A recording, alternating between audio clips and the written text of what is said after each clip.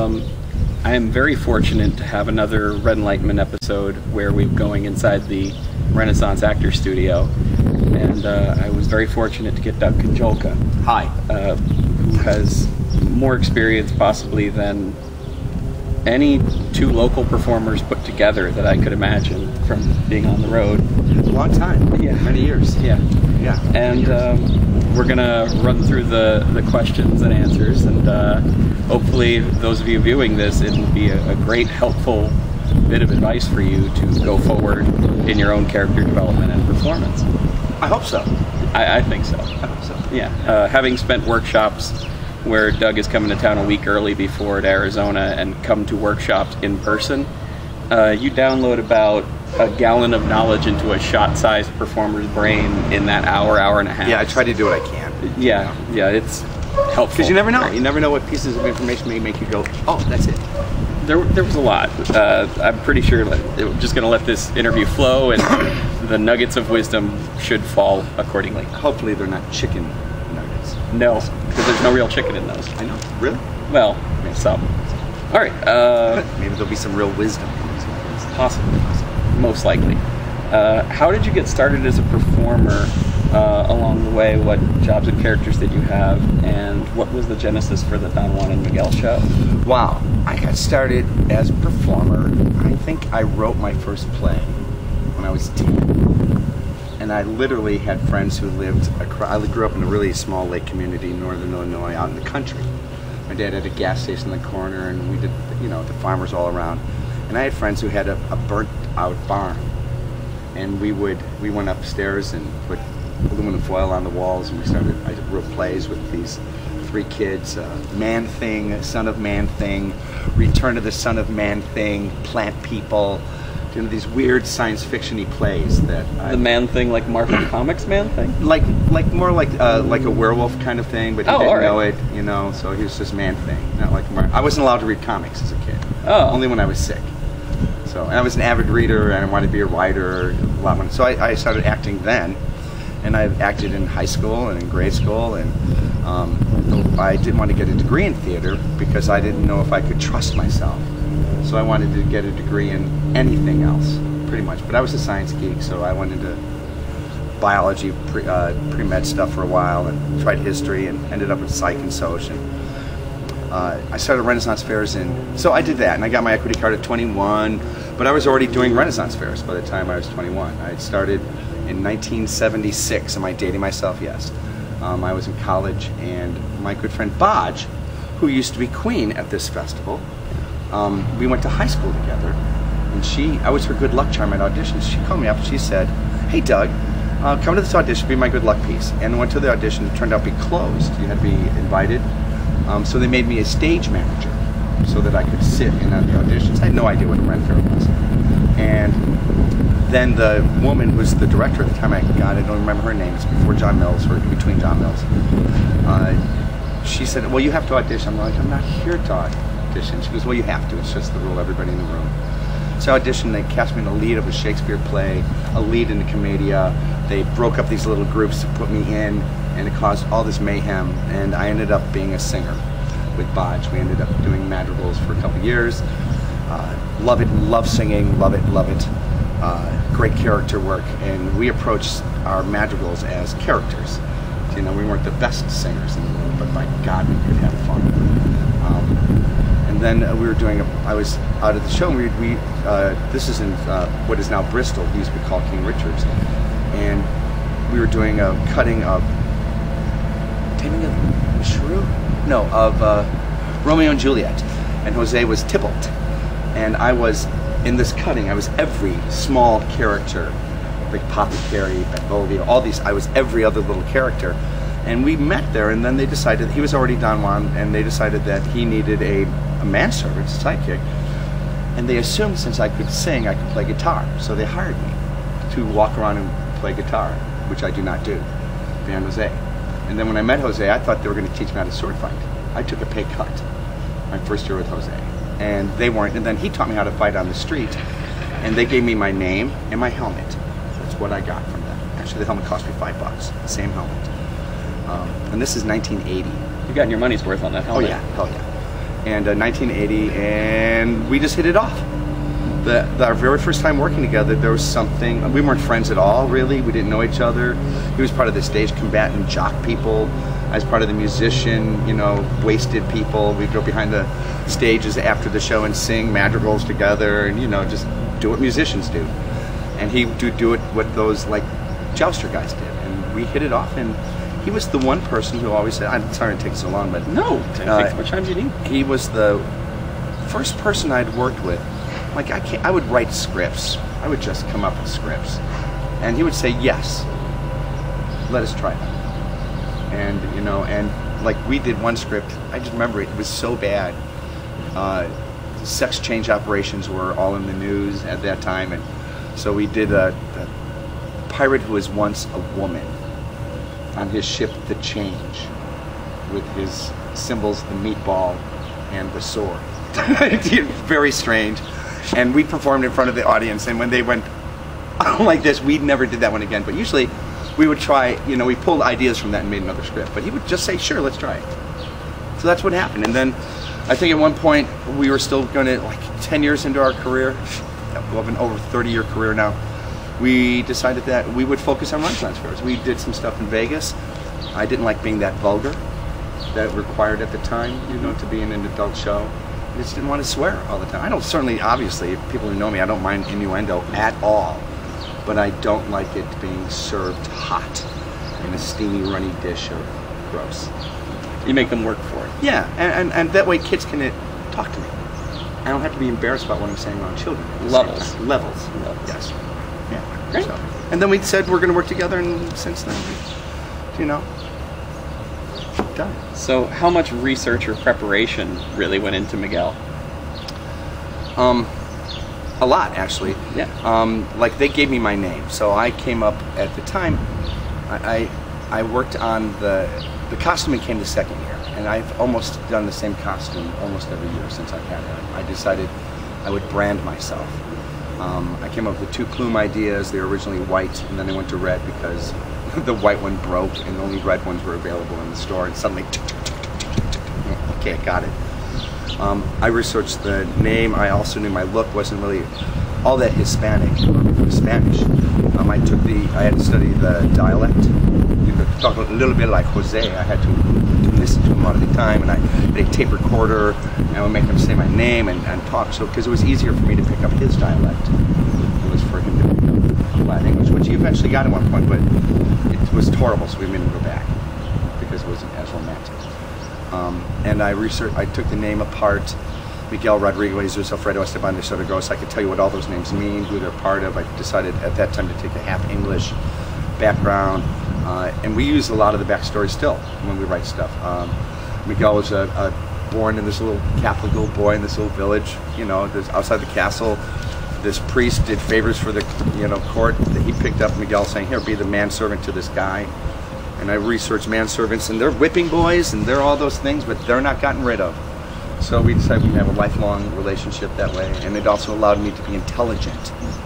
Because part of the thing, like as a lower class character, why would I read? Why would I write? Why would I know all these languages? Why would I know all this historical stuff? So we decided to educate me, and you know, and it's really it's so it, we we created. I read Spanish history. Um, I took a lot of time pre-internet to go into libraries, which are still great things. Uh, read books, uh, and I researched the Spanish history from the Spanish point of view, which is a completely different world than what the English Renaissance world was about. And Yeah. then even researching England, it's like there's no Renaissance. There isn't. It's Elizabethan, and they had a little perk, but it really was Elizabethan times. The Renaissance was almost done, I think, you know, by Right. the time it hit. So I did a lot of research and, and decided to um, really love being Spanish and really love being Catholic because all Spaniards are Catholics. You know, research the old church and actually use that religion as a way to open doors instead of closing them. You know, I'm not one of these people. I'm a, Right. kind of an American Catholic. You know, I I go to confession. I'm done. I can sin for the rest of the week. It's a very Spanish point of view too Yeah. the whole siesta thing is about having secret lovers and all this stuff and you know people they they realize there are people so you know yeah so yeah even researching the armada finding out that the man who had led it had never been to sea. The man who had led the Armada, this huge thing, had, his uncle was a fabulous sea captain. So uh, the uh, cleft-palated, toy collecting, little dog collecting king of Spain said, "No, you must do this, or I will take away your lands."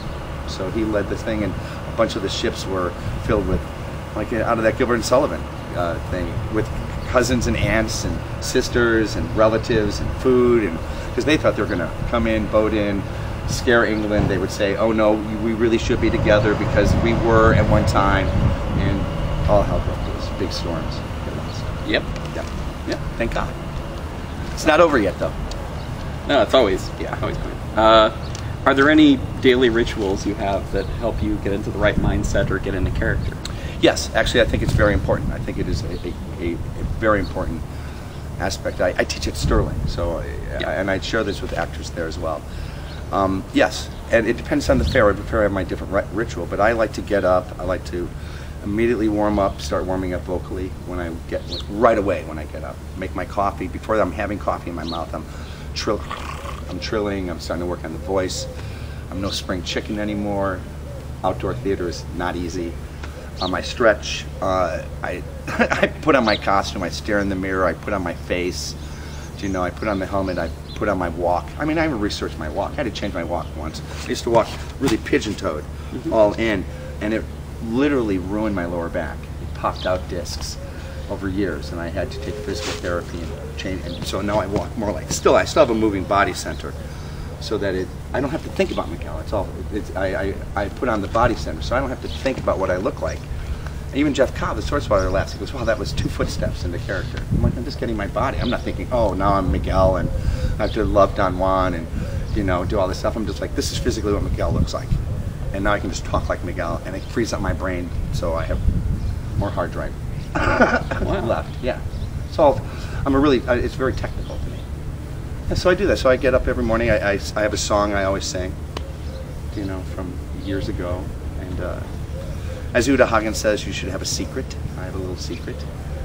You know, but like one of the fun things, I think if you're at home working on your character, and characters only really come alive as defined by other characters. Do you know what I mean? It's the tree falling in the forest. The relationships. Yeah, the tree falling in the forest, the so- sound, no. Because sound is defined by being heard. The technical definition of sound. It's not just waves through the air. It's, it's actually being heard by an ear. So a character does, but it's a lot. It's fun sometimes to sit and, and play with your character alone. Like, what would Miguel do when he's alone? What's his rituals before he goes to sleep? What prayers does he say? What doesn't he do? So I actually have all those things. I've thought about. It. I don't use them all the time, but but my morning ritual is um, the same. When it, um, I think last year Jose got hurt because our morning ritual was obscured by the fire. Yeah. His, that was his warm-ups day. are yeah his warm-ups are later. Mine are right away, and I warm up before I go to sleep on Friday nights. So you were already warmed up and into Miguel when the fire started? Yeah, I was already done. And but Miguel is not a character that takes over. I can shut him on and off. Oh, that's that's good. I just was picturing Miguel putting out the fire in my brain. And Yeah, was, going, wait, no, look, we have to pee on it or something, you know. So yeah, that was a good mental image. yeah, yeah. But no, but I can literally it, it. I don't like to turn it on and off. I don't think it's a good thing to do. But after so many years, I sometimes if a sword breaks or somebody gets hurt, you have to go. I work with some people who can't turn off their characters, and it's like method is such a lovely way to get to a character. Technique allows you to maintain it without exhaustion. Those are the people who are exhausted, are the people who are breathing the character. And there's nothing wrong with that. It's just harder work. Yeah. Yeah, there's a point where you have to get back to you. Yeah. Well, it, it is you. Your character is you. You don't. You can't create from a vacuum. I can't speak a word unless I know it. You know what I mean? So my character can't do anything unless it's within the range of what I, as a human being, can conceive of doing. Miguel doesn't know anything in some level that Doug, Doug does. doesn't. Yeah, exactly. All right, yeah. that makes sense.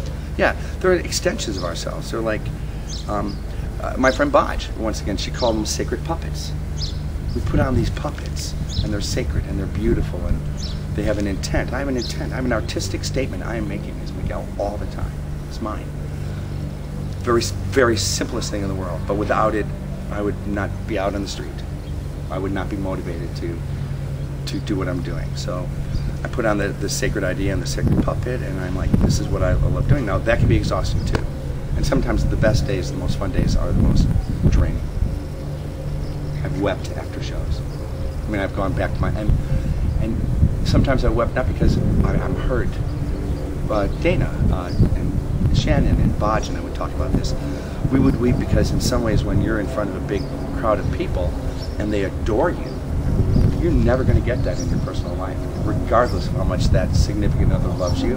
They can only love you so much, and sometimes I think that's why a lot of performers become addicts of this or that because they can't get that moment on stage. I'm addicted to it. I love performing. Love it. It's great validation. Yeah. Yeah, it is great validation. And, you know, if people like it, then it's even better. And if they start to, like, I've watched kids grow up. And these kids are growing up nice in a way that I was hoping that I would affect them. Do you know, like, too, Miguel's pretty outrageous. You know, uh, he's a sexually questionable. You know, half the people consider him just a, a flaming character. Half the people are like, he has no genitals at all, whatever, you know.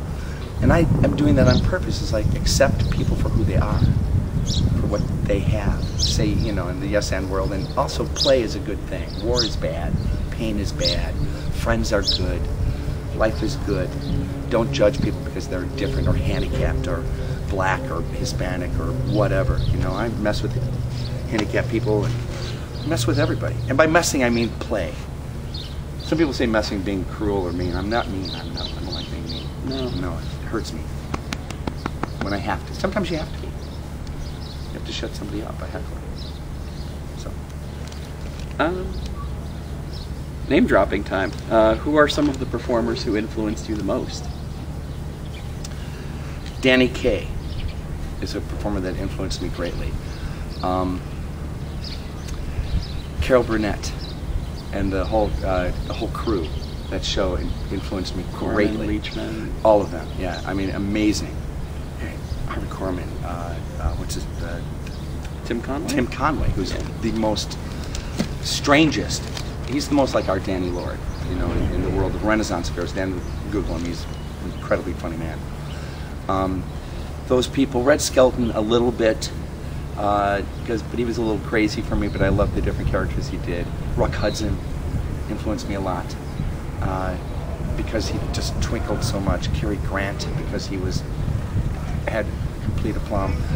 And in reality, Arsène Dupin, wh- who used to work out at this festival, is a, is a performer who influenced me a lot as a young Miguel. Because I came from, it's interesting, when we started, you know, Jose did all he could sword fight and he can juggle and he has a black belt and this and that. And he has all these physical skills and he's a state champion of Wisconsin for fencing and not stolen goods, swords. And uh, I was a singer. My skill is singing. I mean, which is or, or com- comedy too, I guess. and a lot of people when they when they Jose started working, with me, like this isn't going to work because Doug's an actor, a singer. He's not a variety performer like we are. In our sense, like no, this is going to work beautifully. His variety skills will become his acting will be his skill. You know, uh, but Arsene did. Danny Lord uh, influenced me a lot. But uh, Carol Burnett show really, and then uh, voice coaches and singers, some cartoons. The cartoon thing. I all right. I was watching a Looney Tunes cartoon. Um, it, they actually uh, put one on TV on Cartoon Network, and there was a Bugs Bunny cartoon where he's in drag. He's getting hit on by Elmer Fudd, and he actually went, "Stop it!" and I went, "Oh my God, that sounded just like." Well, Yeah. you know what you do as a kid really influences you, and you Yeah. pull it out. And it's interesting that voice. When when I started him, I, I purposely went into this kind of voice because it allows me uh, a range of being funny. Wait, you know, it, just the comic is in the comedy to me has rhythm and music and pitch and variance. So getting older, that voice is harder to maintain. And I I'm a asthmatic. I took Advair for a while, which I will never take again. Um, and at the end of three months of it, I was doing. Wait. I mean, it lowered my voice so much it does.